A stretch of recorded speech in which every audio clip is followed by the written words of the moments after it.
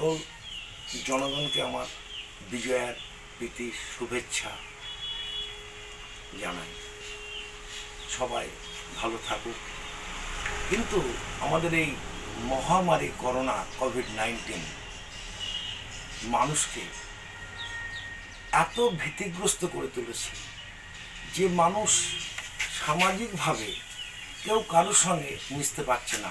মানুষকে করোনা থেকে বাঁচার উপায়, মাস্ক সবসময় ব্যবহার করতে হবে, নাক মুখ ঢাকা।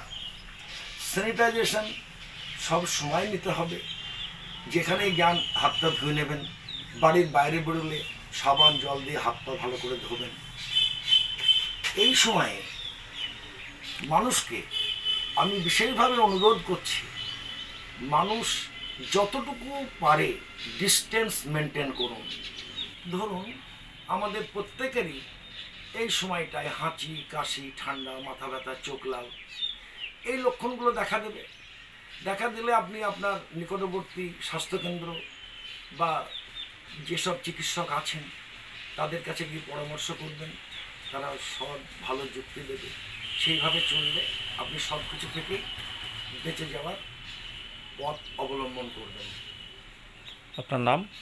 আমার নাম ডক্টর বিবেকানন্দ মণ্ডল, এই এলাকার লোক আমাকে চাঁদু ডাক্তার হিসাবে সবাই চেনে, জানে, আমি পরিচিত।